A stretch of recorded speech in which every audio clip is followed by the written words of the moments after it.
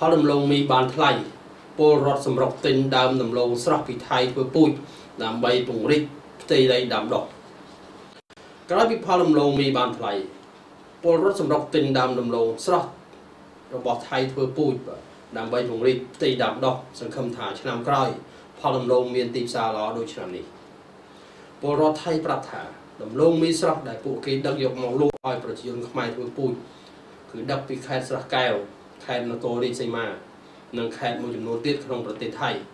ដែលមានរថយន្តធំធំជាច្រើនគ្រឿងក្នុងមួយថ្ងៃមួយថ្ងៃចូលតាមច្រករបៀងតាមជ័យដែនក្នុងស្រុកស្វាយជែកស្រុកថ្មពួកក្នុងខេត្តបន្ទាយមានជ័យ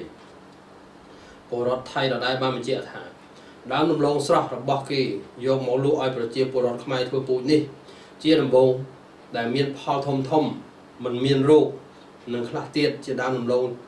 បាទ និងខ្លះទៀតថាដើមដំឡូងទាំងនេះ គឺមានការផ្សំត្រឹមត្រូវងាយស្រួលក្នុងការយកទៅដាំគឺ ឆាប់លូតលាស់ល្អ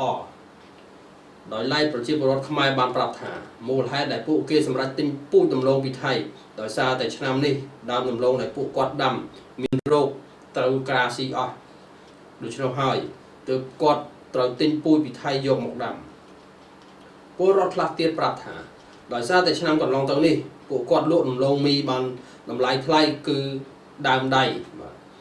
ដំឡូងស្ងួតបាន6បាតនិងចុងដៃបាន5បាត6កាក់បាទបានន័យថា5បាតចុច6ក្នុង1គីឡូក្រាមឯដំឡូងស្រស់បាន2.5បាតក្នុង1គីឡូក្រាមបានថ្លៃជាងឆ្នាំមុនមុនបាទដំឡូងស្ងួតជាង3បាតនិងស្រស់បាន0.8បាតក្នុង1គីឡូក្រាម ពួកគាត់បន្ថែមថាចង់ដាំឲ្យបានច្រើនជាងមុនព្រោះដំឡូងរបស់គាត់ទទួលបានតម្លៃទីផ្សារល្អ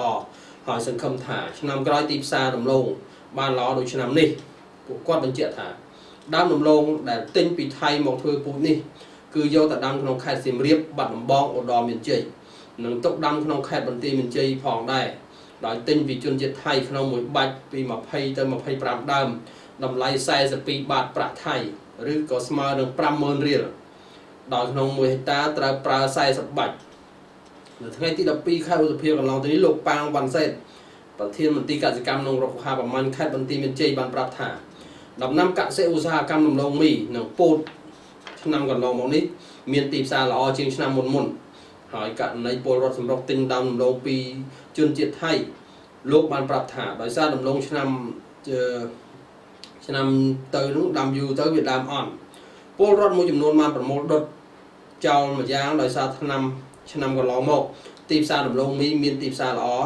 ពលរដ្ឋកាន់តែពង្រីកផ្ទៃដីដាំបន្ថែមទៀតទើបខ្វះខាតដើមត្រូវទិញលោកបន្តថាឆ្នាំ2017កន្លងមកពលរដ្ឋដាំដំណាំកសិឧស្សាហកម្មទូទាំងខេត្តលើផ្ទៃដីបានចំនួន85,000ហិកតាខណៈឆ្នាំ2018នេះលោកក៏បានអះអាងថាពលរដ្ឋទើបតែដាំបាន40,000ហិកតាតែប៉ុណ្ណោះ ប៉ុន្តែកំពុងដាំបណ្ដុះដាំដុះបន្តព្រោះពេលនេះជាគេហៅពេលរដូវដើមដៃលោកមន្ត្រីមន្ត្រីបន្តថាឆ្នាំនេះពលរដ្ឋអាចនឹងដាំដុះដំណាំដំឡូងមីច្រើនជាងឆ្នាំមុនមុនព្រោះតែឆ្នាំនេះដំឡូងមីមានតម្លៃនៅក្នុងទីផ្សារបានល្អលោកប្រធានមន្ត្រីប្រាប់ថាឆ្នាំនេះ ការដាំពោតរបស់កសិករនឹងថយចុះវិញព្រោះពោតពិបាកថែហើយមិនសូវមានទីផ្សារល្អដូចដំឡូងមីទេ លោកបានបញ្ជាក់ថានៅឆ្នាំ2017ពលរដ្ឋដាំពោតបាន13,000ហិកតា ដោយឡែកឆ្នាំ2018នេះពលរដ្ឋទើបដាំពោតបានតែ1000ហិកតាប៉ុណ្ណោះ